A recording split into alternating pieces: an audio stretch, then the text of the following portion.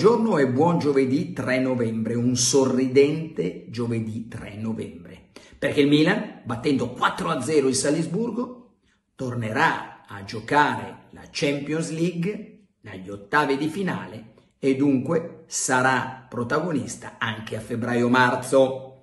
Non capitava da nove anni, febbraio-marzo del 2014, eliminazione dell'Atletico Madrid come non capitava da 11 anni che il Milan vincesse il campionato. Insomma, come ha detto in maniera intelligente, giusta, totalmente condivisibile Paolo Maldini, anche in, in Europa siamo partiti, siamo ripartiti, perché il traguardo per Paolo Maldini non è arrivare agli ottavi, anche se era un, diciamo, saggio traguardo così che Paolo Maldini aveva indicato all'inizio della stagione, però l'ottavo di finale dopo tanti anni è un, è, diciamo, un bel viatico per proseguire la manifestazione, ma certamente per il Milan, per la tradizione del Milan, la normalità è vincerla la Champions League, arrivare in finale in Champions League,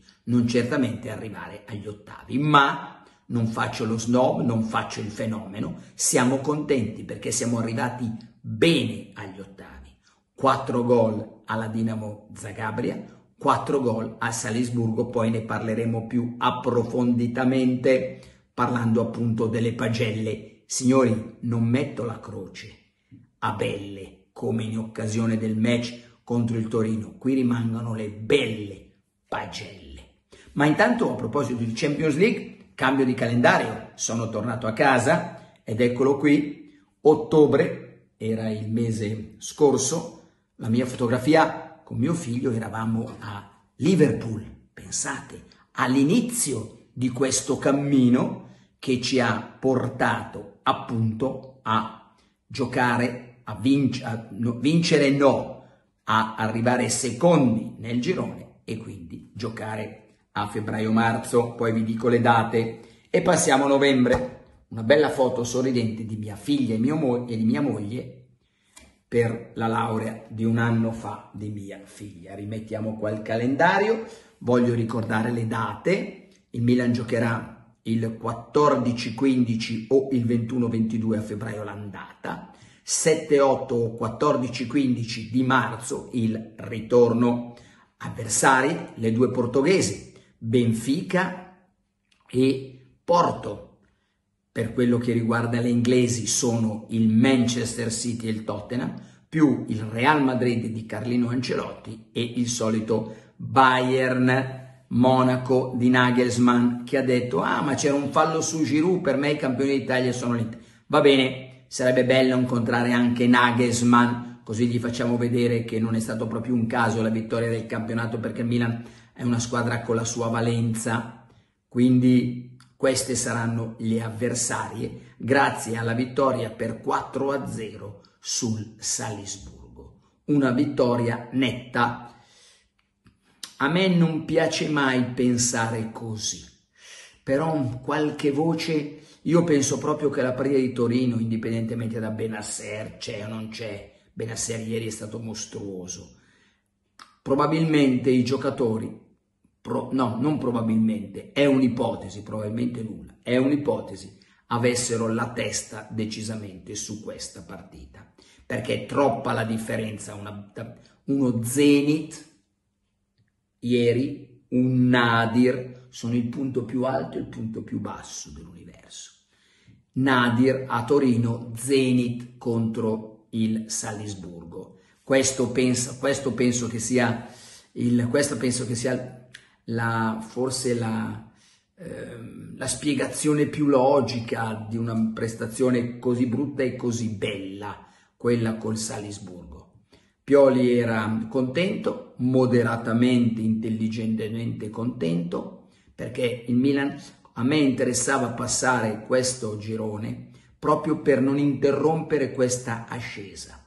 Ha detto Paolo Maldini ieri, attenzione perché il Milan sarà una scheggia impazzita, una, lui ha, par- ha, usato la parola mina vagante nel, nel, a febbraio perché è una squadra dei valori, magari non molto considerata, ma vincere a Milano è molto difficile per tutti contro questo Milan e davanti a questo pubblico che anche ieri sera ha preso le lodi di Paolo Maldini ma soprattutto di Stefano Pioli anche dell'allenatore del, del Salisburgo che è rimasto incantato e sorpreso da questa comunanza. Ripeto, la differenza negli altri anni era che la curva ha sempre sostenuto, anche i tifosi degli altri settori hanno sostenuto il Milan, ma così trascinati e uniti dalle core della curva, grazie al gioco e l'emozione che regalano i ragazzi, non me lo ricordavo. Non me lo ricordavo di vedere cantare la canzone Il Pioli on Fire tutto lo stadio di parte il coro della curva e tutti vanno dietro battendo la mano, battendo le mani.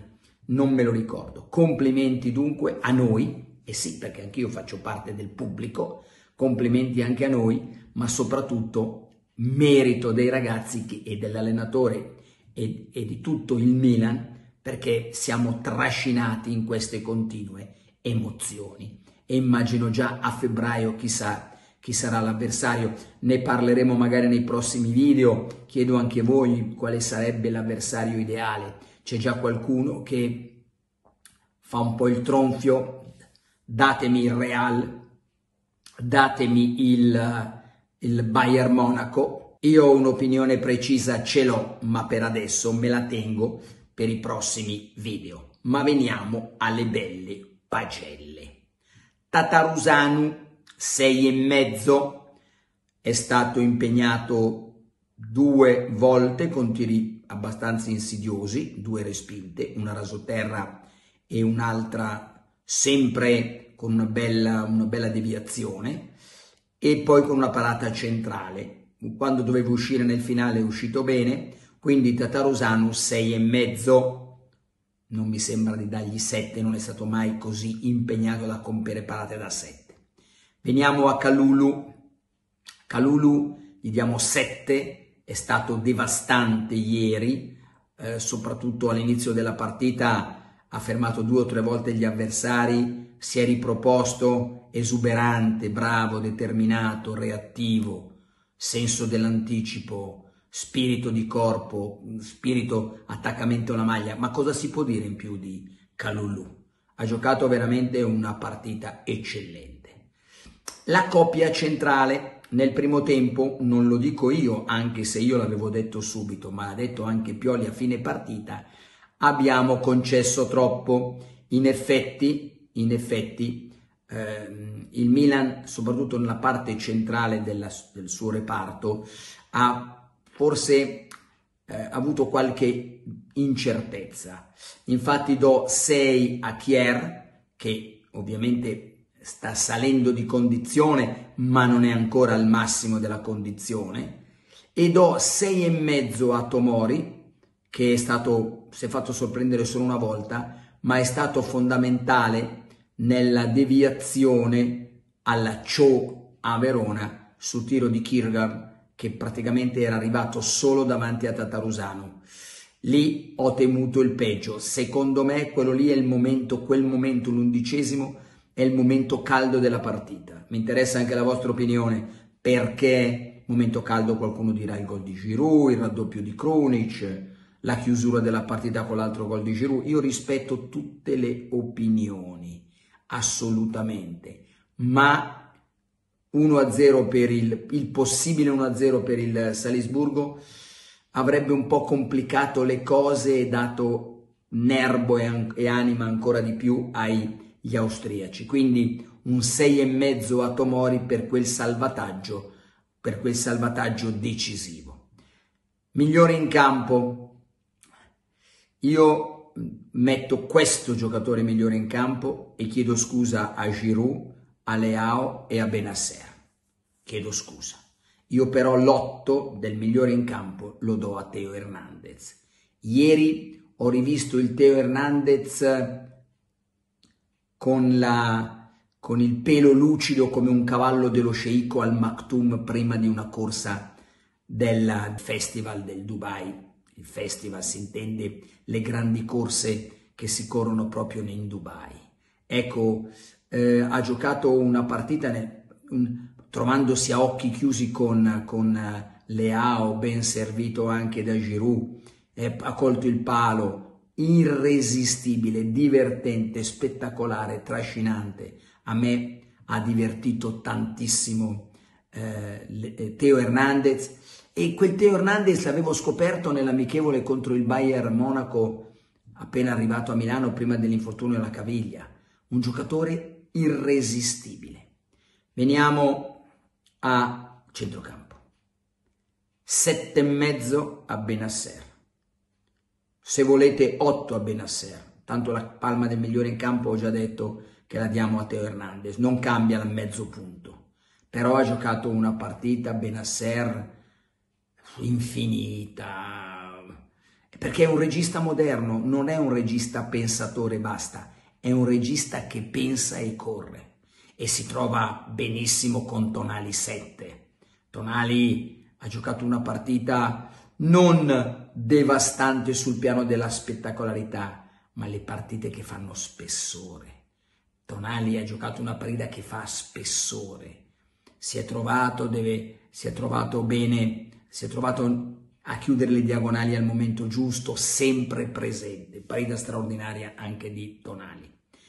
Andiamo a Rebic, 7 a Rebic, ha dato l'assist al gol Giroud che poi la passa a Kronic, sempre presente, bei, begli spunti tecnici, dribbling vincenti, in un ruolo che non gli fa, non fa impazzire, si è sacrificato, Rebic 7. Ho capito perché ha messo Rebic Pioli, lì servivano giocatori esperti, duri, duri, giocatori che sanno il valore di queste partite, che hanno già giocato queste partite. 7 a Rebic. Diamo un 7 anche a Krunic, era parito bene, ha un po' rallentato, però il gol l'ha galvanizzato. Un 7 a Krunic, il soldatino ago e filo.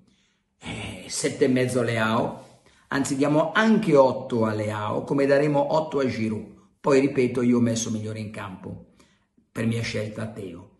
Leao, Leao, Leao, era stato meraviglioso tutto il pubblico quando è uscito, ecco la comunanza, non solo la curva, tutto il pubblico sotto le con la musica di Brasil, Brasil ha cantato Leao, Leao e deve essere meraviglioso per un giocatore uscire guardando tutto il pubblico, la standing ovation naturale. Tutti si sono alzati, sono le standing ovation più belle, perché tutti si alzano, perché viene spontaneo alzarsi e applaudire. Uno mi ha detto, una persona ieri mi ha detto, sembrava un giocatore di PlayStation, quando io non sono un grande esperto di PlayStation, quando i giocatori guidati dal, dal joystick, che non c'entra Tomori, se ne vanno in giro per il campo il, il, gol, il terzo gol è tutto merito suo, ha preso un palo sfortunato, ma le ha uno spettacolo ieri. Veniamo a Giroud, Giroud 8, signori, un assist, quello del, ter- del secondo gol. Il terzo gol e soprattutto il fondamentale gol venuto, signori, rullo di tamburi su calcio d'angolo e colpo di testa di Giroud, giocatore che non guardo solo per quello, guardo anche tutte le palle che va a prendere e difende col corpo, una cosa l'anno scorso sconosciuta in questa fase della stagione. 8 a Giroud. Bene, diamo un bel 7 a Messias per il suo gol, un bel gol, una bella fuga e io continuo a dire mi avete preso in giro quando ha sbagliato il gol con l'Atalanta. Ah, cosa dici di Messias? Signori, come Leao, quando hanno imparato a essere davanti al portiere difficilmente sbagliano quando ho visto la fuga di Messias, la finta e il tiro di sinistro, ho sempre sperato molto che segnasse. I giocatori che sono entrati sono entrati bene, parlo di Ballotouré che prende un bel 6, Badome Pobega, anche lui un 6,5, 6,5 per Ballotouré, sono entrati bene, è entrato bene Gabbia nel momento forse un po' più facile per i difensori. E quindi anche lui ha operato per il meglio. Quindi i giocatori che sono entrati sono entrati tutti con intelligenza e con attenzione. Lo stesso Ballotouré, poi è uscito, è uscito Calulu e ha spostato Gabbia in, in, in difesa. Prima di andare e chiudere con le pagelle di De Chetelare e di Pioli. Eh, volevo ricordarvi di scaricare dal link in descrizione l'applicazione numero di EZ, gratuita, tutto sulle due giorni di Champions League e sulla serata di questa sera Europa League e Conference League. De Chetelare non ha giocato, ha giocato un piccolo spezzone di partita, ha provato qualche spunto, ha provato qualche dribbling, ha provato qualche assist senza grande successo. È un giocatore in questo momento al quale non mi sento di dare voti perché è inutile infierire su un ragazzo.